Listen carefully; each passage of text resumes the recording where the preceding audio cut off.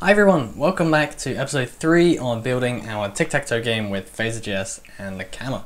We're going to start with a little bit of theory on how client and server authentication works. When a user connects to our Nakama server, we need a way of telling Nakama to validate the user and authenticate them on the server. Nakama does this by implementing JSON Web Tokens, or for short, JWT.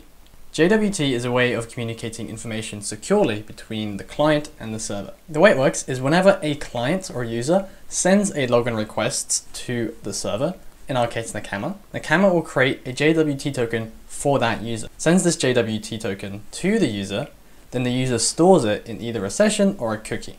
Every time the user now interacts with Nakama, for instance wanting to search for a game, the user will send this token to the Nakama server saying, hey, this is my token you gave me, can you validate and check that it's authentic? Nakama will then do some authentication checks, and if it's a valid token, we'll continue processing the user's request, in our case, search for a game. Nakama has made it really easy for us to authenticate players with a lot of different services. Out of the box, it provides us with device authentication, email authentication, and even social logins such as Google, Apple, Facebook, Steam, and more. On top of that, you can also link multiple social logins to one user at the same time. So a user can log in with Google, a user can log in with Facebook, but still have only one account in their game. Okay, well let's actually start implementing uh, authentication into Phaser.js and Nakama.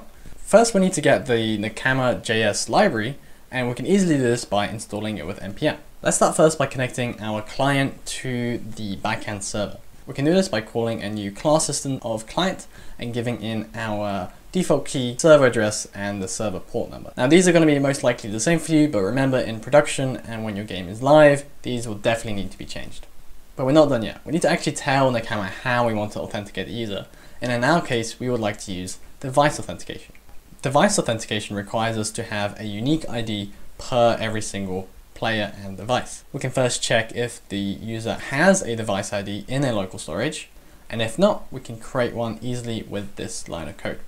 I've opted to use the UUID library, which you can install with this command here, which generates a unique but random string of letters and numbers to be assigned as their device ID. After we've done this, we can call our authenticate function, giving it our device ID and whether or not we want to create an account for the user in our backend. Now that we've authenticated our user, we can start communicating between the client and our Nakama server. The way we can do this is by using WebSockets. WebSockets allow us to have a persistent, real-time communication to and from our server.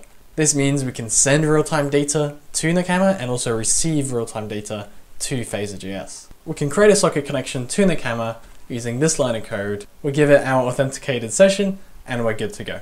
With that setup done, we are now ready to start talking about the actual gameplay of our tic-tac-toe game. In The next episode, we're going to be going over authoritative multiplayer and how we can connect two Phaser.js clients together. So thank you for watching, and I will see you in the next episode.